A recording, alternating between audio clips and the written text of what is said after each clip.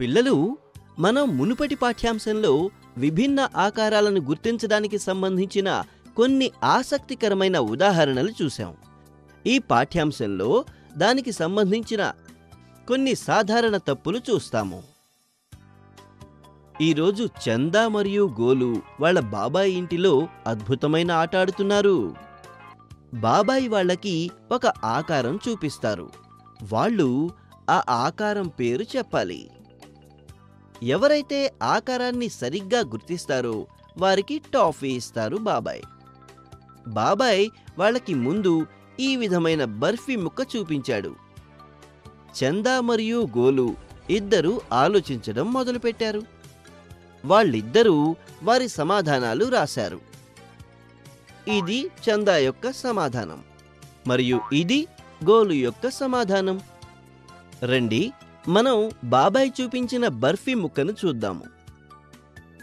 దీనిలో ఎన్ని భుజాలు అంటే సైడ్స్ ఉన్నాయి? నాలుగు.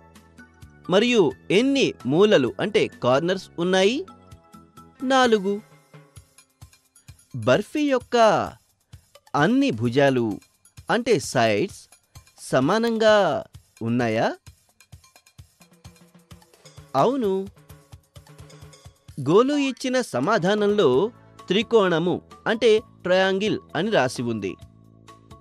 త్రికోణంలో ఎన్ని భుజాలు అంటే సైడ్స్ ఉంటాయి? మూడు మరియు ఎన్ని మూలలు ఉంటాయి అంటే కార్నర్స్ ఉంటాయి? మూడు. చందా యొక్క సమాధానం చతురస్రం అంటే స్క్వేర్ అని రాసి ఉంది. చతురస్రానికి ఎన్ని భుజాలు? అంటే సైడ్స్ ఉంటాయి నాలుగు.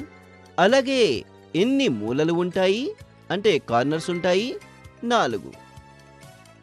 చతురస్రం యొక్క అన్ని భుజాలు అంటే సైడ్స్ యొక్క పొడవు సమానంగా ఉంటాయా? అవును. అయితే ఎవరి సమాధానం సరైంది? అవునండి. చందా యొక్క సమాధానం చతురస్రం అంటే స్క్వేర్. సరిగ్గా చెప్పారు. మరియు గోలు యొక్క సమాధానం త్రికోణం అంటే ట్రయాంగిల్ తప్పు. చందాకి తను సరైన సమాధానం చెప్పినందుకు బాబాయ్ తనకి టాఫీ ఇచ్చాడు. ఇప్పుడు బాబాయ్ ఒక పుస్తకం చూపించి ఇదే ఆకారం అని అడిగాడు. గోలు వెంటనే తన సమాధానం దీర్ఘచతురస్రం అంటే రెక్టాంగిల్ అని రాశాడు. మరియు చందా చతురస్రం అంటే స్క్వేర్ అని రాసింది. పిల్లలు మీరు చెప్పగలరా?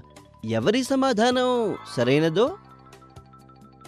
రండి మనం బాబాయ్ చూపించిన పుస్తకం చూద్దాం. పుస్తకానికి ఎన్ని భుజాలు? అంటే సైడ్స్ ఉన్నాయి? నాలుగు.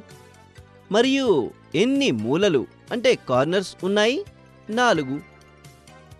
కానీ పుస్తకం యొక్క అన్ని భుజాలు సమానంగా ఉన్నాయా? అంటే ఈక్వల్గా ఉన్నాయా? లేవు. కేవలం ఎదురెదురు భుజాల పొడవే సమానంగా ఉంది. అయితే పుస్తకం ఏ ఆకారంలో ఉంది?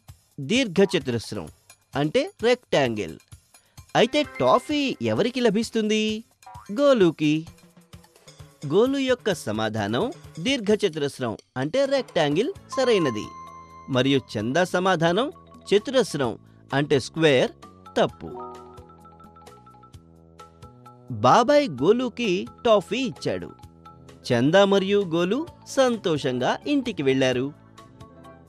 పిల్లలు ఈ పాఠ్యాంశంలో విభిన్న ఆకారాలను గుర్తించడానికి సంబంధించిన కొన్ని సాధారణ తప్పులు చూశాము.